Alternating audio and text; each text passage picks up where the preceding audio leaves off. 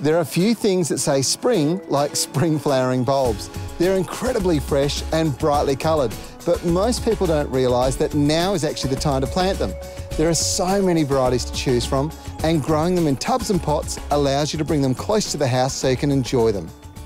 Buying bulbs from my local supplier is a terrific way to go, but to get the best results, I've got to employ an old trick. You see, I've taken the bulbs and popped them in the crisper. Oh no, not those ones. Or those ones. Oh, but these ones. And what's happened is I've left them at four degrees for about three to four weeks. What this does is it actually triggers the flowering process. So when they are planted, they take off like crazy and, most importantly, come springtime, they produce the most stunning flower displays.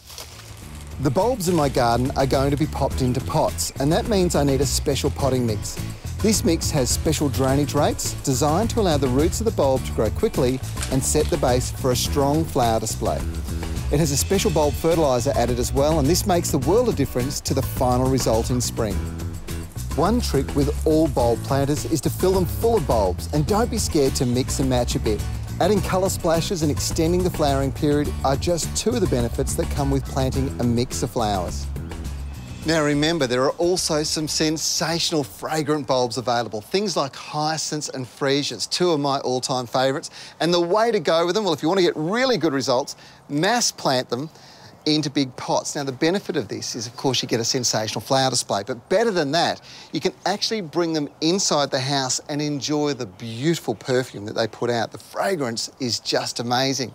Now, this is the time of the year to be planting spring flowering bulbs. And come spring, you'll get a sensational display. The way to get them? Well, pop into your local garden centre or do a bit of surfing on the net and check out the online catalogues. They're a terrific way to buy and of course they're delivered direct to your doorstep.